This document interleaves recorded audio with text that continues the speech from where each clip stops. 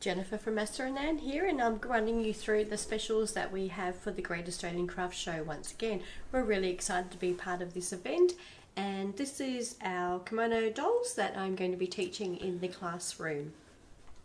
So I'm going to be teaching you using a passion that is from Passionately Sewn, which has three dolls in it, or three little girls there.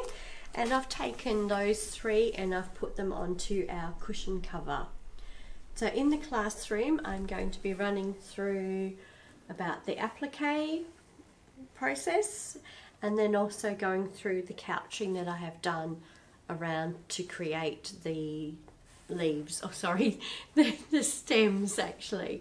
So these are the three designs and our special offers are available on the website on asterandanne.com.au and they are a thread pack which gives you all the threads that you need to complete the project.